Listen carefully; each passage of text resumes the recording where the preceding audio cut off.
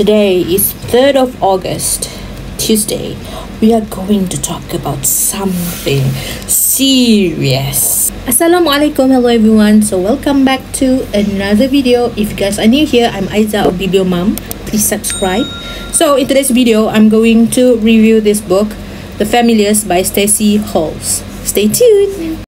Long story short, Last year, Pansing sent me this book, The Foundling, and I really fall in love with Stacey Halls's writings, and I ordered myself uh, her debut, which is The Familiars from Book Depot. They didn't come in the same size. I'm bothered by it, but it's okay. The Familiars. It sets in Lancashire, Lancashire, 1612. It follows Fleetwood Shuttleworth, a 17 years old girl or woman. I think 17 years old is considered adult at that time that year. Oh yeah by the way this is a historical fiction so the place actually exists. And i found the acknowledgement and then the author's letter. She was reading about this history of the house at Gawthorpe and the Shuttleworth family.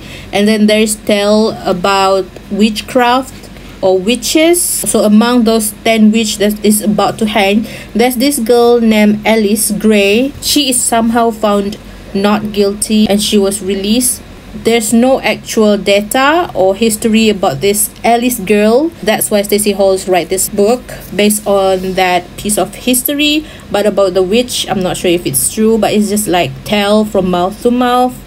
It begins with Fleetwood Shuttleworth. She had four miscarriage she met this girl named alice. She was uh, about her age and she claims herself a midwife. Very very young for a midwife. She claimed herself an experienced lady. She learned how to be a midwife from her mother and grandmother. Fleetwood married richard which is one of the well-known men in the country. He rich, he really loves her, takes care of her. When he sees his wife, he's really sad losing her babies. Somehow he had another woman and made the woman pregnant at the same time. When Fleetwood met Alice, she asked Alice to be her midwife and then she agrees. Eventually they became friends. Something happened.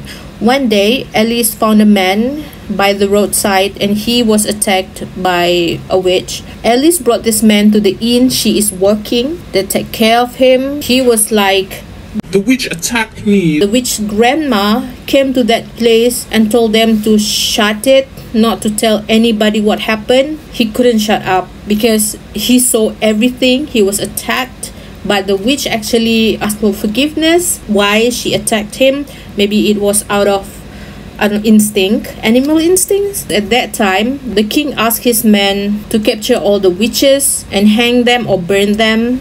When Alice got tangled in the situation, when that happened, they mentioned Alice Gray. She is really innocent. Then Fleetwood's mission is saving her because she doesn't want any other midwives to deliver her baby. Because in the years Alice became her midwife, she took a good care of Fleetwood when she got fever. She knows what to give. I'm not going to tell you the spoilers. You guys have to read yourself. I really love Stacey Halls's writings. I think the second book is better. It's not a duology, but in terms of writings, she really grown from the first book both of these are historical fictions. The story is gripping. It's not that fast paced but it is it has a steady pace where you can just read it until it's over. So i gave this book four stars.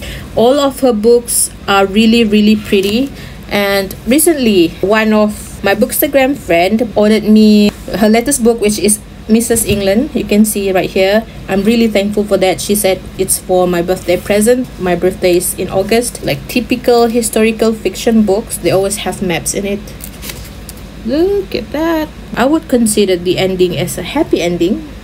So I don't have to feel depressed or anything.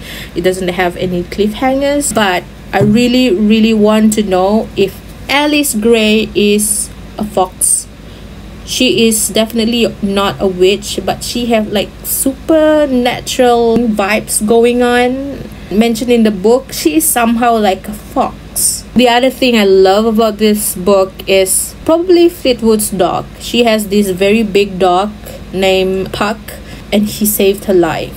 How do you call it? Family dynamic between a human and a dog?